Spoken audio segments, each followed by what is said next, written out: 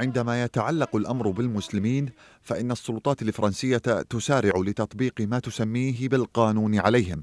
فكل شيء يمارس ضد هذه الشريحة من المجتمع الفرنسي باسم القانون من التضييق وبث دعاية الكراهية وليس انتهاء بمحاولات شيطنة المسلمين لأهداف متعلقة بالمكاسب الانتخابية والمنافسات بين الأحزاب السياسية وبعضها لا سيما اليمينية منها. ولأنه لا يوجد أفضل من القانون المشرع لتحقيق تلك المآرب انبثق في الآونة الأخيرة ما عرف بقانون مكافحة الانفصالية الإسلامية قبل أن يغير المشرعون اسمه إلى مبادئ تعزيز احترام القيم الجمهورية.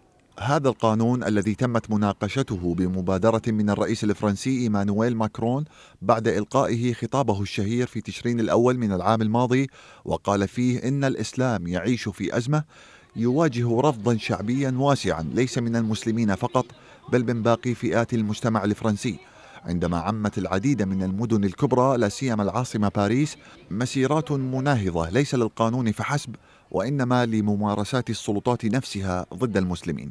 فقرات قانون مبادئ تعزيز احترام القيم الجمهورية تبيح فرض رقابة لصيقة على المساجد والجمعيات والمدارس التي تتبع للجاليات المسلمة بمعنى التضييق على نحو ستة ملايين مسلم الذين يشكلون نحو 9% من مجموع السكان. كما تشمل فقرات القانون التضييق على تعليم الأطفال والالتزام بما تسمى القيم العلمانية ومنع المرضى من اختيار أطبائهم لاعتبارات الدين أو الجنس وتفاصيل أخرى.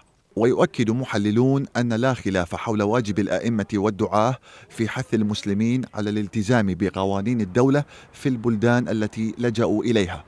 كما أنه لا خلاف برأيهم على واجب السلطات المضيفة في تطبيق القانون على الجميع بالتساوي وليس اتباع سياسة الكيل بمكيالين والمفاضلة بين دين على حساب آخر.